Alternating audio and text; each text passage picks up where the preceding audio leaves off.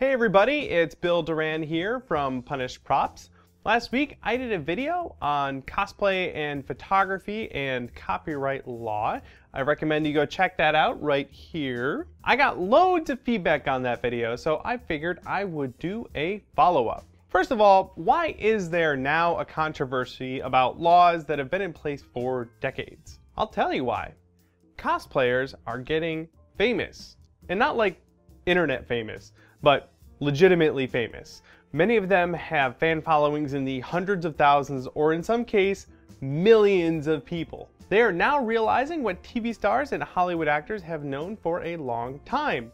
There is a real monetary value to their likeness. Many of them are taking advantage of this value by getting photos done of them in their really cool costumes and selling prints of those photos at conventions and on the internet. However, when photographers that they haven't worked with start selling photos of cosplayers, those cosplayers are likely to be upset that someone else is profiting from their likeness and hard work. Here in the US, the photographer does in fact have every right to do this. So what can a cosplayer do about that? If someone is cutting into a cosplayer's print sales so significantly that it's taking money out of their pocket, it falls on the cosplayer to create unique, compelling content and products that people would rather spend their money on. Cosplayers have the ability to have their own booths at conventions, to do in-person sales, and to sign autographs on their prints. All of these things add value to their products and make people want to buy them. This is why professional models and photographers do specialized photo shoots in isolated locations or on private property. They're creating unique content that nobody else has access to. That makes it more valuable to the consumer and there is only one place to get those products from the model selling the prints. Now, if there is some boogeyman photographer out there that is making a pile of money selling prints of cosplayers, I haven't heard of it. I know that there are photographers who have been accused of doing that, but I haven't seen anything that would make me feel cosplayers are losing out on a significant portion of potential revenue. Even if that were the case, it would be likely such a fringe thing that it shouldn't be an issue for the vast majority of cosplayers out there. All of the big time cosplayers and photographers that I know all have arrangements with each other that are mutually beneficial to all parties involved. Mm -hmm. Based on the feedback I've gotten from many of you, people seem to feel that the cosplayer puts more effort into the final print and therefore deserves at least a shared copyright of the photos. They feel that since photographers automatically own the copyright to photos that they make, the laws here in the United States are horribly one-sided. When it comes to putting in effort into creating a unique photo of a costume, I probably have a little bit more insight and a little bit of bias towards the photography side than most people. For starters, my mom is a high school photography teacher. Hi mom! I was in the darkroom back when I was just a wee little lad. I also have a degree in computer art, and I've spent thousands of hours digitally manipulating images. And also, I am a very serious amateur photographer and for a long time was considering going pro.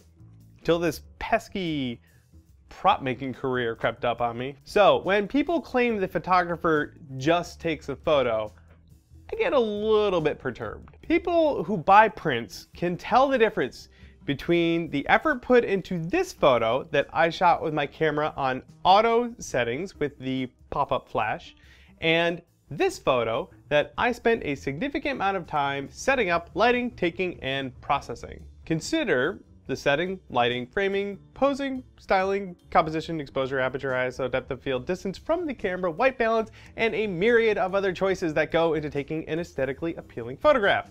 These are all choices that any photographer with his or her salt must consider when taking a photograph. Choices that take years of practice to master. Also consider the amount of post-processing that can go into a single shot.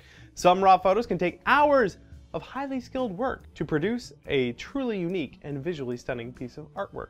Bear in mind, as a cosplayer, you do put a lot of effort into your costume. However, that costume would be extremely hard for someone else to duplicate. As a photographer, you put a lot of effort into your photos. However, especially with the way technology is evolving these days, those photos have become so easy to duplicate, most people do so without even thinking about it. This is why photography copyright laws were created and updated in the first place. Hopefully, most people can at least respect the amount of effort a good photographer will put into a photo of a cosplayer. But remember, even if you could break it down into an effort percentage between the cosplayer and the photographer, that is still irrelevant to copyright law in the United States. If you personally disagree with the copyright laws in your country, it's even more important that you understand them. Some countries, like Germany, have vastly different copyright laws when it comes to taking a photo of a person. You have the power to create any type of arrangement or contracts with a model or photographer that the two parties can agree on. Simply yelling, it's not fair, into the internet is not productive. Here are some other things to consider. If a cosplayer uses a photograph without getting permission from the photographer, the cosplayer is breaking copyright. Even something as innocuous as downloading a photo from the photographer's Facebook page and posting it on your blog can get you into hot water. Unless, of course, the photographer has granted everyone permission through Creative Commons or something else like that. If you're a photographer who believes that your copyright has been infringed upon, you can send the offending party an invoice if you like, or you can actually even file a civil suit. Uh, but it's best to talk to a lawyer about such things before taking any rash actions. On another note, many people wanted to let me know that if content owners like DC wanted to, they could sue the pants off of cosplayers who are selling photos of themselves dressed as characters that DC owns the rights to. Now, the specific laws for this are a little bit muddy. Uh, you can copyright a character, but you can't technically copyright a costume, but you can copyright a mask. It's a little weird. What's really important is that there is no precedent for companies sending cease and desist letters to cosplayers for selling prints, so I would not worry about it. Once again, most cosplayers will not have to deal with copyright laws, but it pays to be informed. I have a whole pile of reading material down in the description if you would like to dig deeper. As a cosplayer, if you do a photo shoot with a photographer, just have a chat beforehand about how the photos can be used after they are made. In fact, many of the photographers that I've talked to will gladly let cosplayers sell prints of their photos totally for free so long as they ask permission before they start selling them. Thank you guys again for your fantastic feedback. Feel free to keep giving it down in the comments below. I've got some more videos coming up soon, so be sure to subscribe. Take care, everyone.